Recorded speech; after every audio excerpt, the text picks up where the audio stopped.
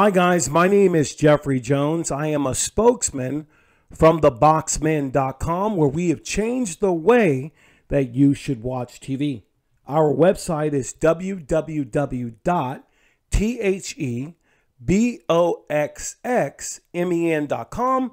We are theboxmen.com. And in this video, I'm going to show you how to eliminate channels you no longer want to see on a Formuler Z11 Pro or Z11 Pro Max.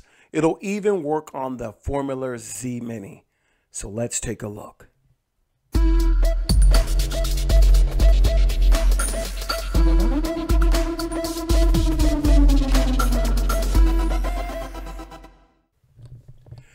Okay guys, I'm going to go ahead and jump right into this video.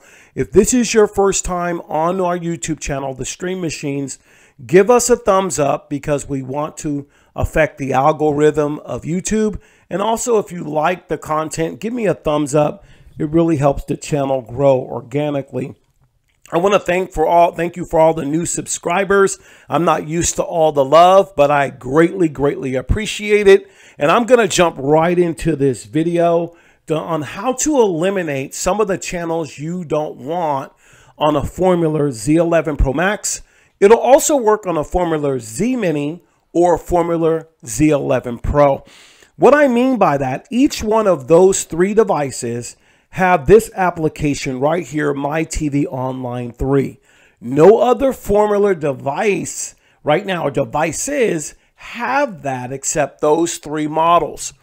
Now, because of that, the process to eliminate some channels you may not want or groups you don't want is a little bit different than, say, a Formuler Z10 that has My TV Online 2. I'll do a video about that here shortly real soon on how to eliminate some of the channels with My TV Online 2. So what we're going to do is go ahead and jump into My TV Online 3, hit the menu button, $18. and you're going to go down to Content Manager and press OK. From Content Manager, you're not going to go to Content Sources. You're going to go to Manage Groups and press OK. It's here in Manage Groups that you'll have access to your TV groups, some other groups like VOD or TV series, if you have that type of information or content on this device.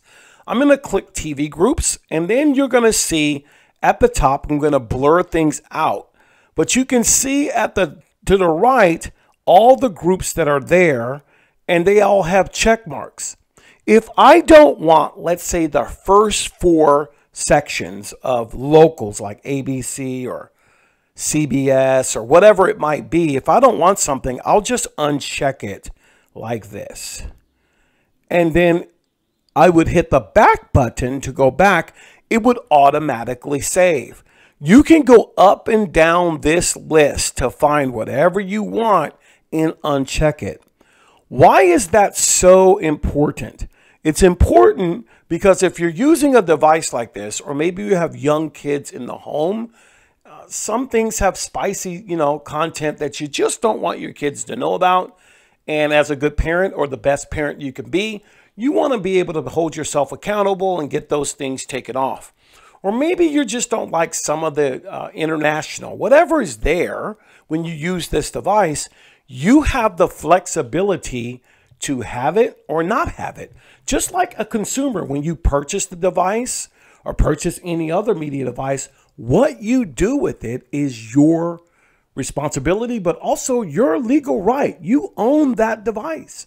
But what a privilege to go in and personalize it to how your family watches TV. And that's what that does so well. So I wanted to make this real short video.